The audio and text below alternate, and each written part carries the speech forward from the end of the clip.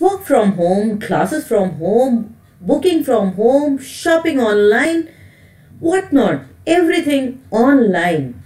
Was it possible a few days back? Few years back, rather. Why has it been possible? How much fast the development has taken place?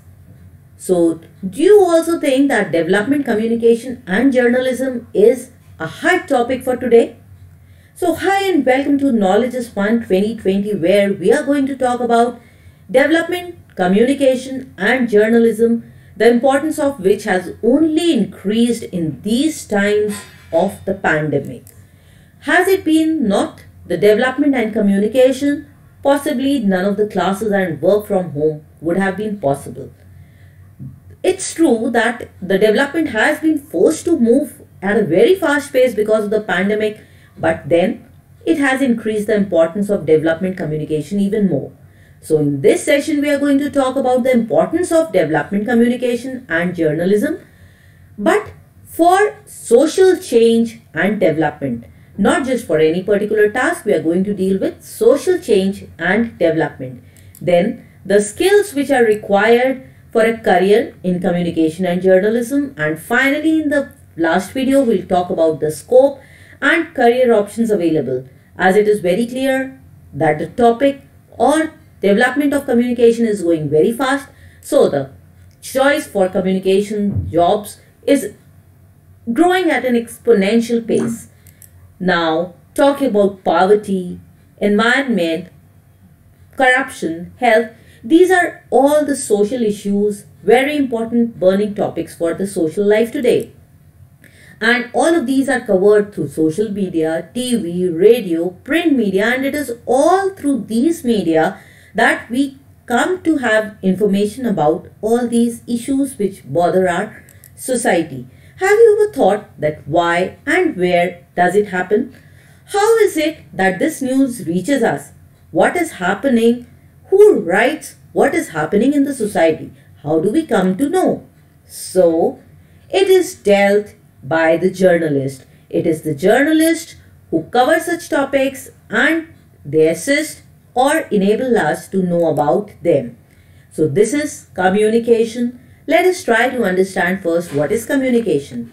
Communication is an integral part of our social and professional life. So in this part, we'll mostly deal with the social life and how does it create a profession. First, what is a communication? Communication is actually a two-way process. It's not a one-way process. Unless it is two-way process, it is not complete. So the first thing in communication or the first medium is the sender. So if we take an example of this class, the teacher who's taking the class is the sender because she wants to say something to the student. Then until and unless she has a message, possibly she won't be the sender. So having just have being a sender is not enough. Then you need to have a message. For example, when I am giving you this video, I am the sender and the message is communication and introduction. Now the next step for communication is the channel. So this teacher is using the channel of the blackboard. So the message is 2 plus 2 and the channel used is a blackboard and a chalk. So channel is the medium through which communication takes place. This little girl is the receiver who is getting the message and when she gets the message, she gives an answer 4 which is the feedback. So once you get the feedback, the communication channel is complete. Have you understood the process of communication? I'm sure you must have. So make it two-way. In the comment box, don't forget to write down that you have understood the communication so that I get the feedback that the message is clear. Now, this was in a classroom. What happens when you are talking about mass media, print media, phone, television? So all this is also communication. Who is the sender? Who's the sender? It is the person who has the message. It could be a journalist. Whatever is written is the message. The channel used, it can be a print media, it can be television, it can be uh, internet and the person who watches it for example, you are watching the video, so you are the receiver or whatever you write down in the comment box, that will be a feedback. So journalism let us talk about it as it seems to be a very important topic. So, journalism is basically an activity of gathering, assessing, creating, and presenting new information. So, the first thing is you have to gather the news or the information, then you have to assess who will gain, who will be interested in the news, then you have to create the information and then present it. जैसे मैं ये video दे रही हूँ First, I had to gather whatever I have to pass on to you. The information about journalism, this was my topic. Then I needed to assess who will be needing it. Then I created this PPT and now I am presenting it.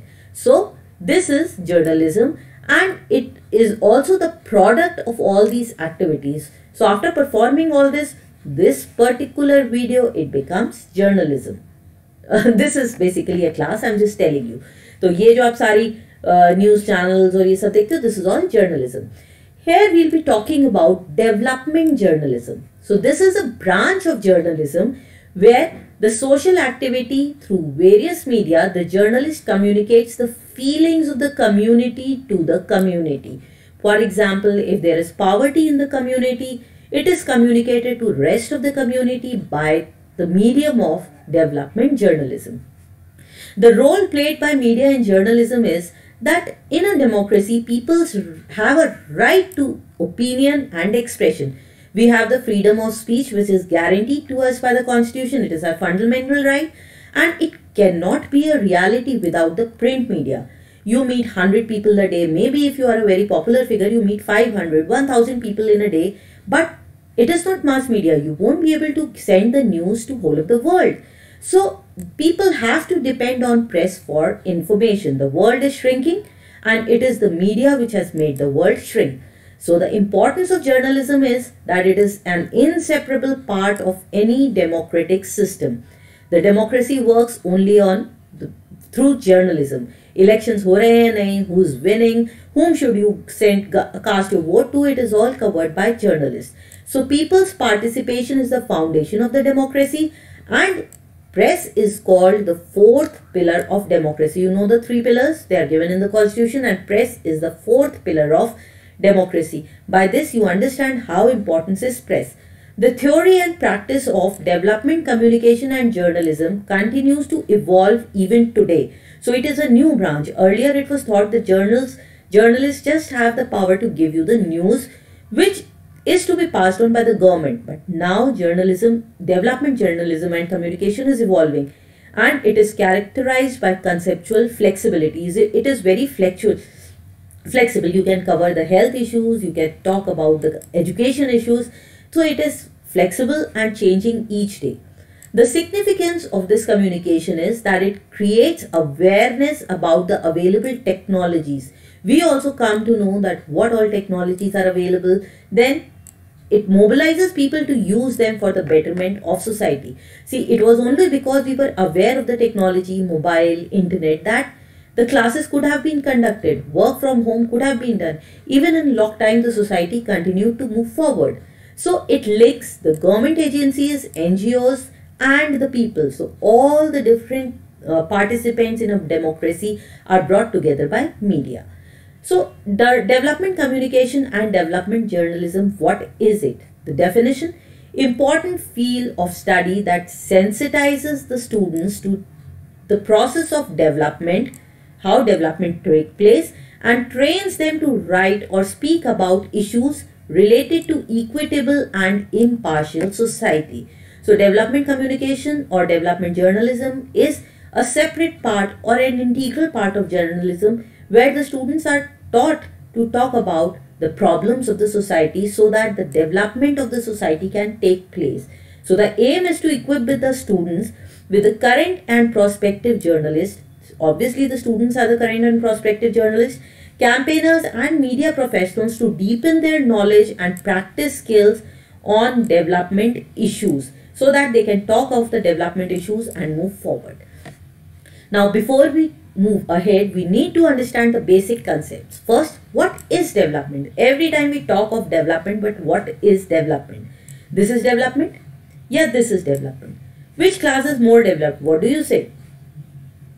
The first one, where you have internet, this is more developed? Possibly yes. So, we need to take our classes from here to here and this is development to bring about a change but this change can be brought about only when we all move together towards a higher status. So development is positive changes in the socio-economic and cultural lives of majority of people on a permanent basis. Remember it is majority of people.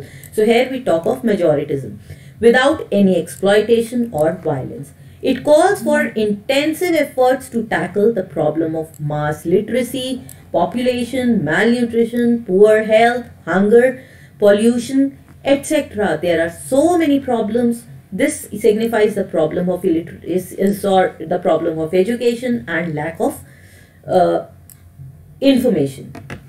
Now, development journalism, it is a relatively newer concept. Why? Because post-colonial it evolved only during the post-colonial era.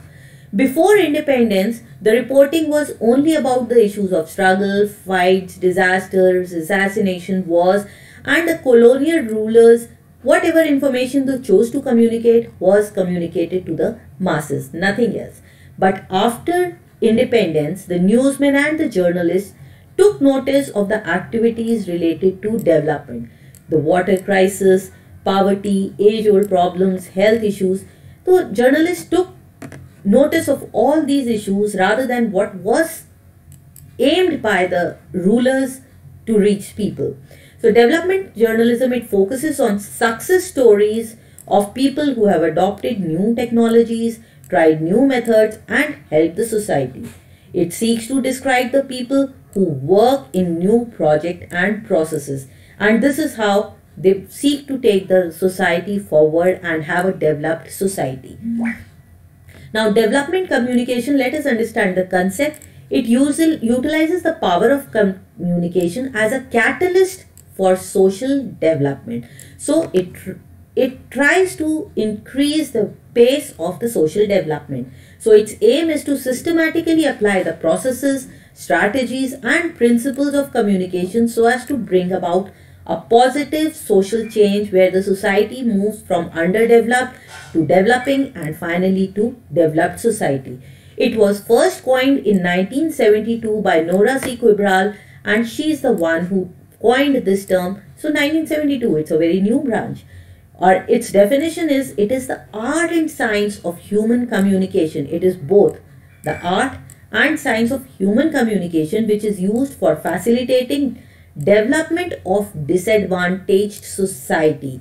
So, disadvantaged society also needs to move forward with the support of other society in a planned manner to ensure equity and achievement of individual potential. So, every individual reaches its potential. This is the aim of development communication. Its essential features are that it is oriented to socio-economic development and happiness of people and community. Happiness classes we are all taking, happiness of people and community. It aims at giving information and education to the community. It educates community about the prospects, opportunities and the latest techniques available. It combines mass media and interpersonal communication channels for greater impact and based upon the audience characteristics and environment. Now suppose you, audience characteristics, now suppose you have, uh, I am presenting this uh, slide or this class to an illiterate audience. Would it be able to understand it? There you don't need the written form. You need movies. So it depends upon the audience characteristics.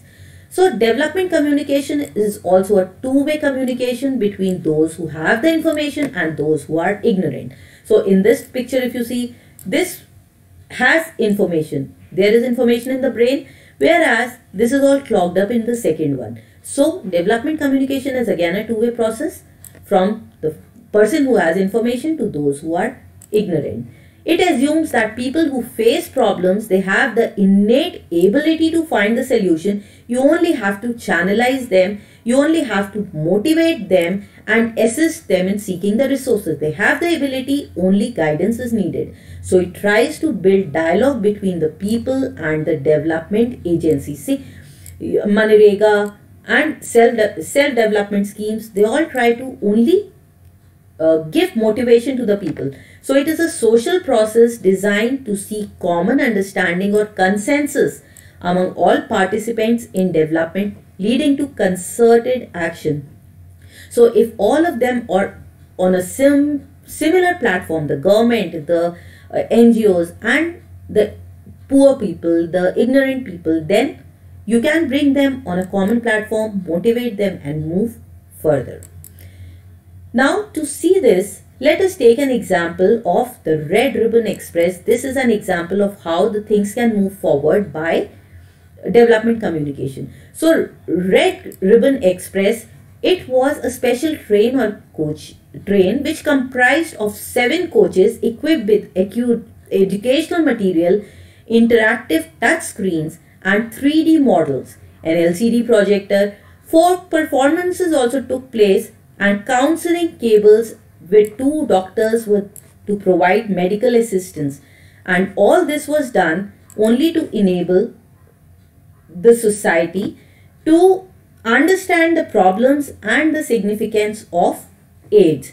The project was implemented by National AIDS Control Organization NACO with the help of Nehru Yuva Kendra Sangathan. You have already heard about Nehru Yuva Kendra Sangathan and international agencies like UNICEF and UN AIDS with the cooperation of the Indian Railways. So this train it reached so many places and because of this it was able to educate the people and I've already told you it had so many interactive uh, methods of teaching people. Now there were many stations where the people were uh, the train stopped and the people were educated about the problems of AIDS. Now, in the next video, we'll talk of the methods of developmental communication that is campaign, radio and television, print media, and lastly, information communication and technologies. These are all the ways by which we plan to develop the society and take every person along with us. So I hope the topic is interesting and this is the last uh, chapter of our home science class 12. See you in the next video with the second part where we'll talk about the career and scope along with the methods of communication. See you in the next video. Bye-bye.